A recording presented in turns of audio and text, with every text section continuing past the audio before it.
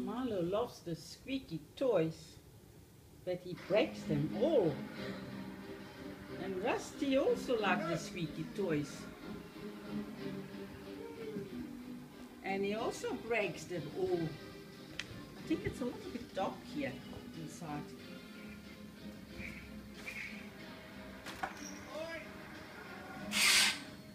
Just open the window a little bit. Those two guys are fighting again for the not fighting but want the same toy. And Rusty also got a toy, squeaky toy. Oh, they're both tired of running around. Let me see Rusty. Oh, this is Rusty's toy. Yeah. And he was teasing always Milo. Now Milo, I found the spare one, the spare little peepy thing and I put it in the duck. And now Rusty, Milo is happy.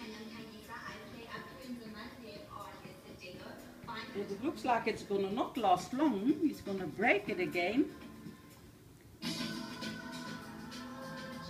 Milo, don't break it. Yeah, you see he's breaking it again.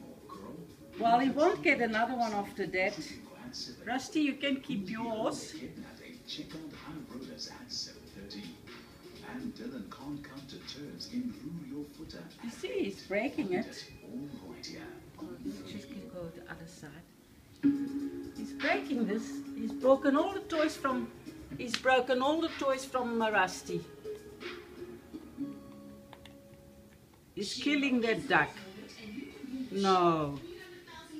Milo. Why you, your poor duck? This is how he does it. He's just, I don't know why he's enjoying it. No, if you're gonna, I'm gonna take it off. I'm gonna take it off. No, no, no, give it to me. I don't like, he's breaking everything.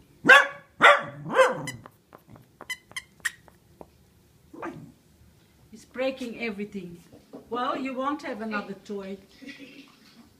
Okay, come in. Hmm, see how he does it? You look like you're be very busy. Oh, He's got it already.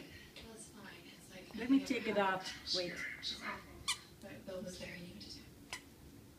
Bill was there. Hey, you know what? Even better if you didn't leave choking. Let me take it out. Yeah, well. Okay, guys. See you later. Thank you for watching.